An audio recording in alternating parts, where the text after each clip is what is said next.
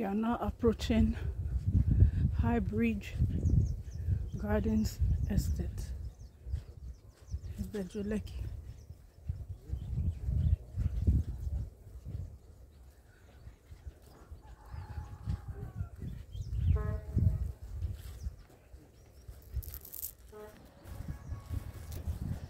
Here is Highbridge Gardens, Ibeju Lekki. It's a place where it's really, really worthy of your investment because sooner than you know it,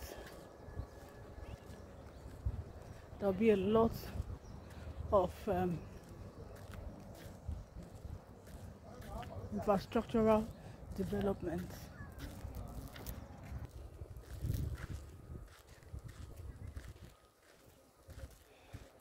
Side is commercial place.